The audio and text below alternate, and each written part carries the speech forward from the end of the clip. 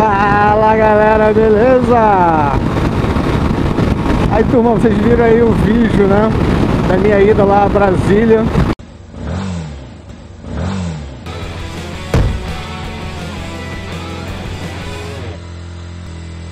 Muita gente tava perguntando por que, eu não fui de moto. Cara, eu fui a trabalho.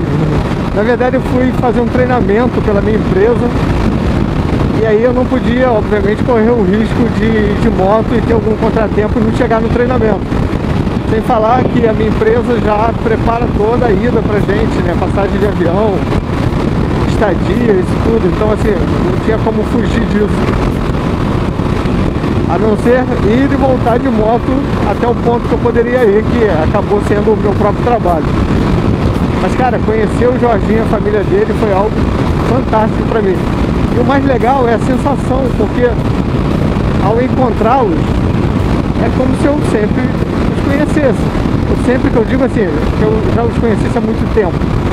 E é verdade, porque a gente já se conhece pela internet há muito tempo. Você vê as pessoas, né? A tecnologia traz essa facilidade. Só que aí no final do vídeo, cara, outra coisa que eu queria esclarecer, a gente falou sobre as pessoas que a gente tinha vontade, que a gente ainda ia encontrar, que a gente tinha certeza que ia encontrar. Não é só ele, cara, tem uma gama de outras pessoas que eu quero encontrar, mas na hora você não vai lembrar do nome de todo mundo e no comentário ali, no, na empolgação do, da gravação, que nada é combinado, vocês viram que um atropela a fala do outro, ah, coisa de doido, né? Aqui não é Rede Globo não, e Rede Globo tá mal vista, né? Aqui não é. Qual TV que tá bem vista? Nenhuma, né? Ah, sei lá, aqui não é uma programação boa que vocês gostam da TV não, galera. Não é fácil não. É tudo de improviso. É como falar aqui em cima da moto. Esse caminhão tá aqui do meu lado. Se ele faz um movimento, matou a minha gravação. Eu não vou conseguir fazer as duas coisas ao mesmo tempo. Desviar dele e ficar falando aqui. Por isso, de vez em quando a gente dá umas travadas, tipo, o teco para porque você fica pensando o que fazer, sua mente está programando para onde eu vou, onde eu vou fugir, onde eu vou entrar. E aí acontece isso, né? A gente fica meio perdido.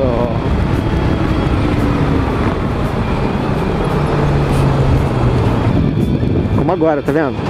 Não sabia se o caminhão ia, ia mudar de ideia e ia querer passar aqui, né?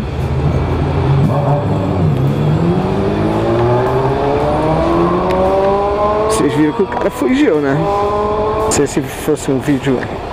Obrigado.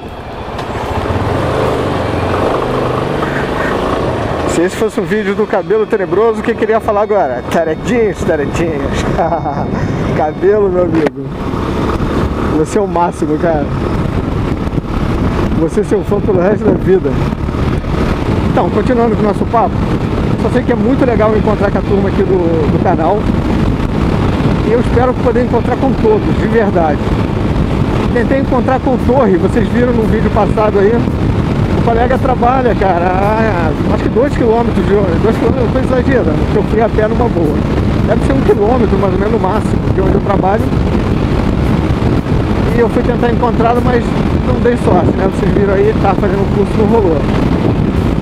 Encontrei um amigo Maclean, lá na Imperial. Imperial Motofest em Itaipava. Cara, esse vídeo tá sendo bem legal, assim, eu não imaginei que eu fosse encontrar com tantas pessoas. E vou encontrar daqui uns dias um amigo muito especial também, cara. Uma pessoa que eu tinha muita vontade de conhecer, tenho muita vontade de conhecer, né? ainda não conheci. Mas não vou falar quem é não, vai ser surpresa. Mentira, né? Pela musiquinha vocês já sacaram quem é, né? É, cara. Evandro da Tenerê Laranjinha. Vocês acreditam que o pilantra tá aqui no Rio e quase que não me fala, rapaz? Ele tá louco. Se ele desculpa que ele veio ao Rio e não veio aqui me visitar, que a gente não se encontrou, que ele não veio conhecer minha cidade, rapaz, o mundo acaba. No mínimo eu sequestro a laranjinha dele. Sequestra água para Guapira e vai ter que vir de qualquer jeito, vai vir a pé. Evandro, cara, tô ansioso para que a gente se encontre. Espero que você goste de passar um dia aqui no Atendimento com a gente. Vou tentar programar. Um dia é pouco, né? Não sei se você com essa disponibilidade. Eu, o dia que a gente está pensando em se encontrar, eu vou ter que trabalhar no dia seguinte, então vai acabar sendo um período de um dia, é curto.